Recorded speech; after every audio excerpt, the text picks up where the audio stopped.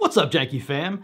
So in September of this year, Janky Drift officially celebrated its first birthday. And in my first year on YouTube, I released 22 full-length videos, picked up almost 6,000 subscribers, and generated almost 1 million views. Now don't tell anybody, but I also made a little bit of money in ad revenue and affiliate sales in the process. So in this video, I'm gonna share the secrets to becoming a rich YouTube celebrity, which of course is a huge exaggeration, but I am gonna share a bit about my journey, including the struggles in building a YouTube channel, and essentially the return I've received for all the time and money I've invested. First off, here's a clip for those who might be completely new to drifting. There is a bit more to it, but essentially drifting is sliding your car through a series of turns like this. Now, I've been a fan of drifting for probably about 20 years at this point, which effectively makes me a fossil in the drift community. But coming from pretty humble beginnings, I could just never justify the expense myself. So to help scratch the itch, I've been racing and drifting on various sim racing platforms for probably over a decade at this point. And, you know, it's fun, but obviously it doesn't fully capture the real life experience. That said, I eventually did find myself with enough resources to give real life drifting a shot,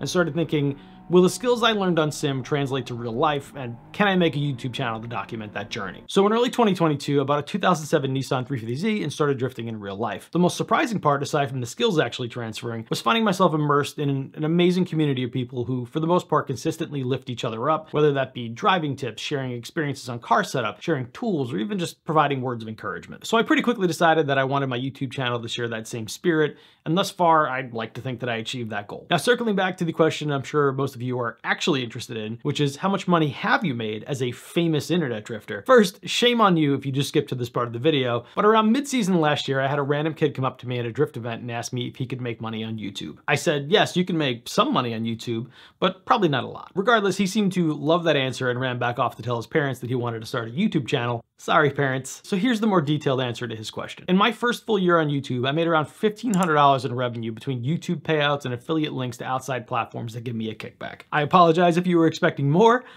Me too.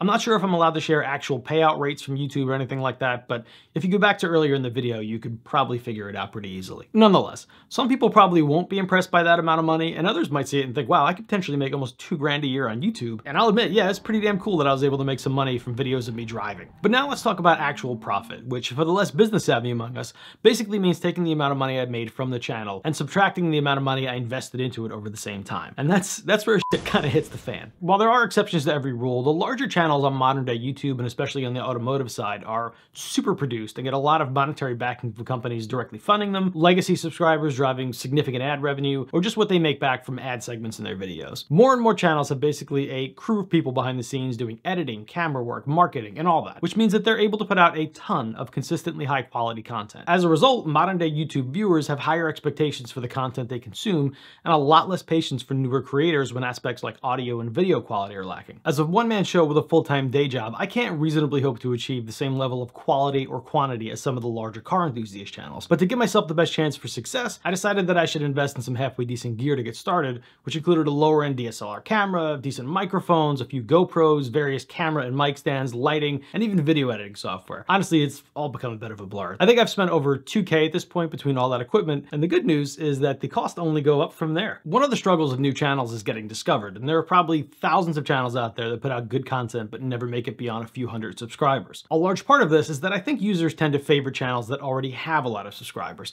For example, if you have 10 minutes to watch a video and you see one channel with 500 subs and another with 50,000 covering the same topic, you're more inclined to think that the larger channel's content is going to be better. And in fairness, that's probably true in a lot of cases for some of the reasons I mentioned earlier. Now, I'll tell you a little secret. My day job is in marketing, so that's kind of where my mind immediately goes. So in addition to spending a ton of time optimizing videos from an organic search perspective, I also decided pretty early on that I was going to reinvest my YouTube profits into running ads with the goal of giving the channel an initial boost. So I spent around $900 this year on YouTube ads with about a third of that initially being out of my own money. Obviously that sucks, but Overall, I would say it was a win, since once I got over a thousand subs, they started to roll in at a much higher average pace, even once I stopped running ads. And I think a lot of that has to do with people taking my channel more seriously as my subscriber count grew. All right, now where are we at? $900 in advertising, $2,000 in recording equipment, but wait, there's more.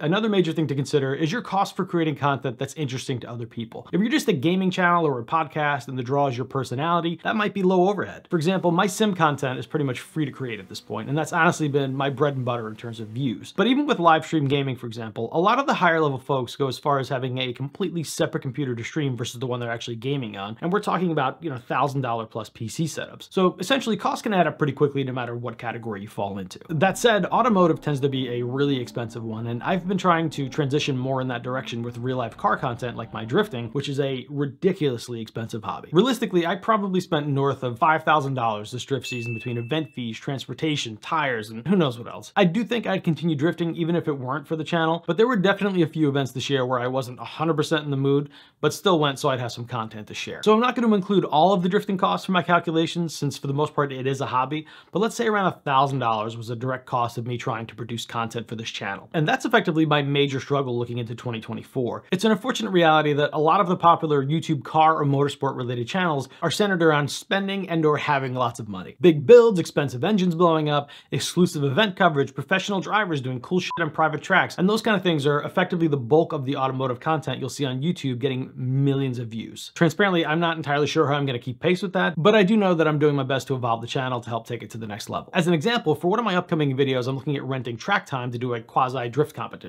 and that would probably be the most ambitious thing I've done thus far. The problem is that it's probably going to cost me in the ballpark of $500 of my own personal money to make this video happen, and then you're kind of praying the YouTube algorithm picks it up and it gets traction. On average, my top videos have generated around $100 each in ad revenue. So if I take the chance and spend $500 to create a video, never mind the 20 plus hours it'll take for me to fully produce and even the favors I'm calling in, for it to only make $100 would really suck. Some of what I thought were my best videos basically died at a thousand views, so it's a huge gamble to lay out your own money like that. Anyway, back to actual profits it's time to do some math. I mentioned already that I made $1,500 in revenue. To get profit, first we'll subtract the $2,000 I spent in gear, which already puts us at a $500 loss. Then we'll include the $900 for advertising and $1,000 for content production, and that leaves me at negative $2,400 profit, or effectively loss. Yay!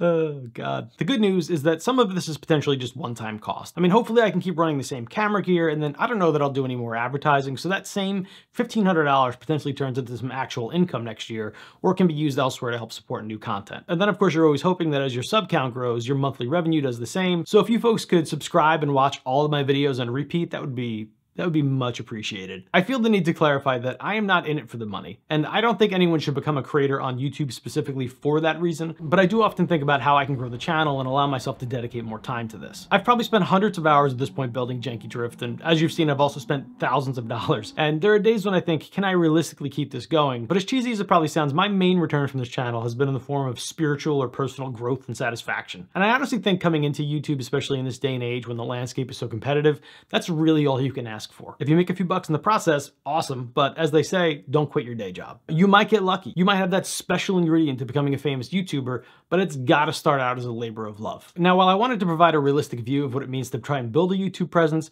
I don't want to overshadow the fact that I am extremely grateful for everything I've been able to do so far. This year, I've had at least a dozen people come up to me at events and tell me they recognize me from YouTube and or that my channel has helped them in some way, which is honestly incredibly humbling and flattering all at the same time. It means a lot to know that I've helped people and that all of this work I'm putting into this channel is having a positive impact on someone. But overall, I hope this was an interesting look into the inner workings of my channel. I don't know what exactly Janky Drift is going to look like over the next year, but I am damn sure going to give it my best shot and have as much fun as I can in the process. In the end, I realize all I can do is focus on improving with each video and figuring out ways to put out interesting content as efficiently as possible. Anyway, just want to give a quick thanks to all the folks who follow me and have helped make this channel a reality. Good luck to anyone in my same position as a content creator. And as always, I am more than happy to answer any of your burning questions in the comments, and hopefully I'll see you next time.